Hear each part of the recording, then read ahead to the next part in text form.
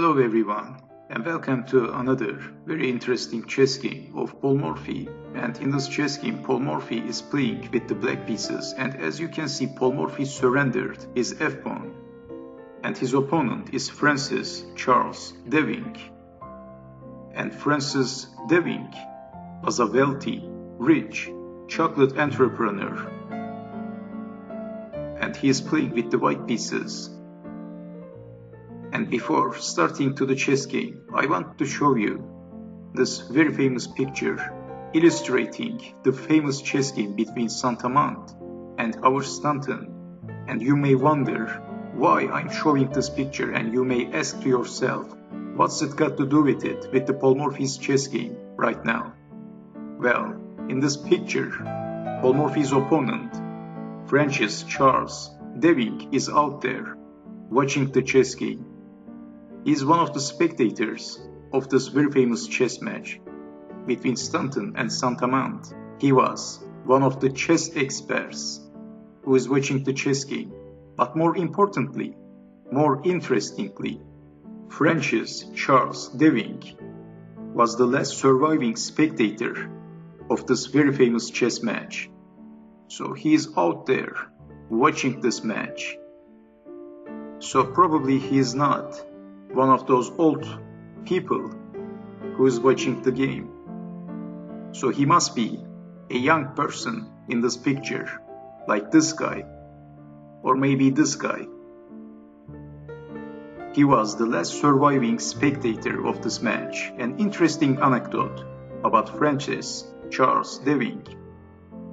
And another very interesting information about this player. According to the some resources. He once said to have ranked Deschamps higher than Paul Morphy.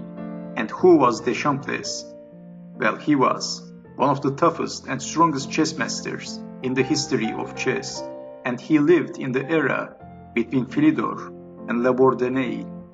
And also, if I'm not guessing wrong, he was the teacher of La Bourdonnais, so he was a strong chess master but it's almost impossible to compare Deschamps with Paul Morphy. So Paul Morphy was too strong for his time.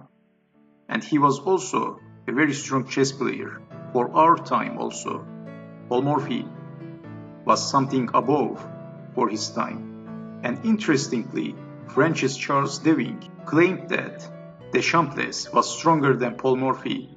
So this shows Devinck was underestimating Paul Morphy and another very interesting anecdote. And let's get back to the chess game between Paul Morphy and Francis Charles Devinck.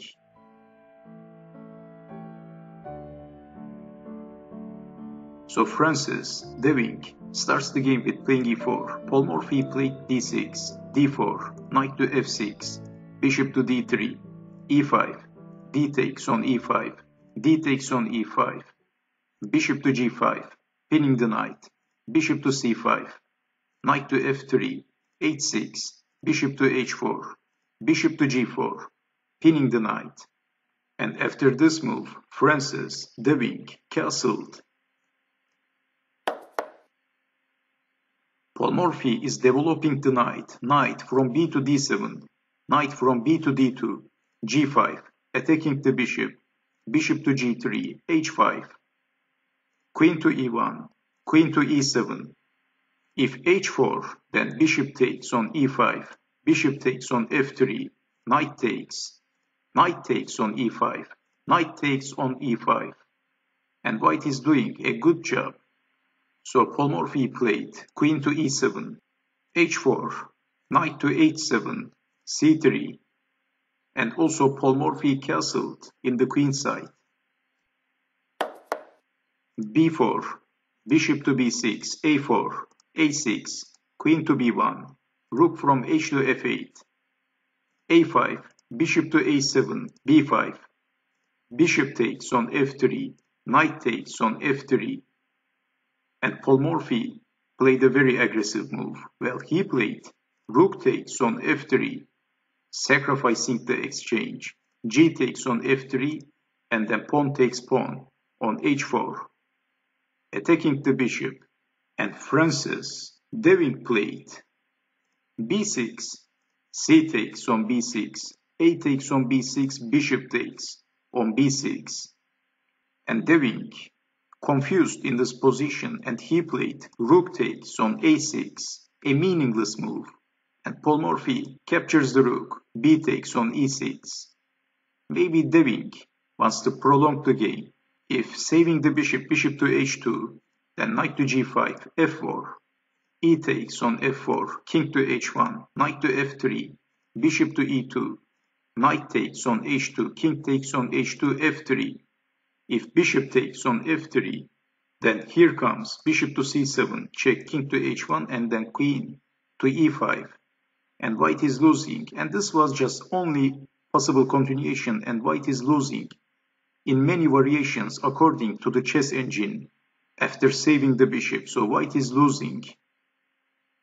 And Devinck played rook takes on a6, pawn takes rook, and then bishop takes on a6, but Paul Morphy is simply defending the king, king to c7.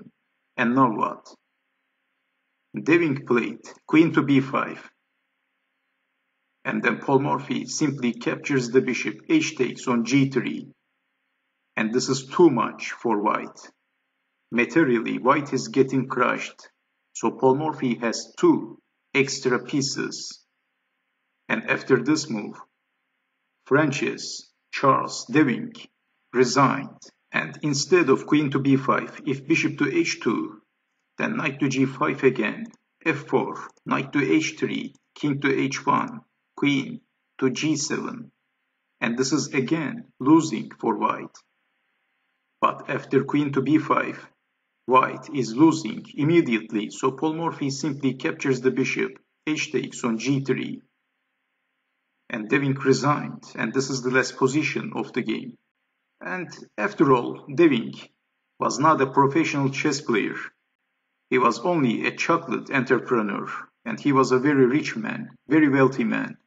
And he tried his best, but eventually he lost the game at move 25. So he is no match with Paul Morphy, of course, but he tried his best chances. So I hope you have enjoyed watching this video, and I hope to see you next time. Take care.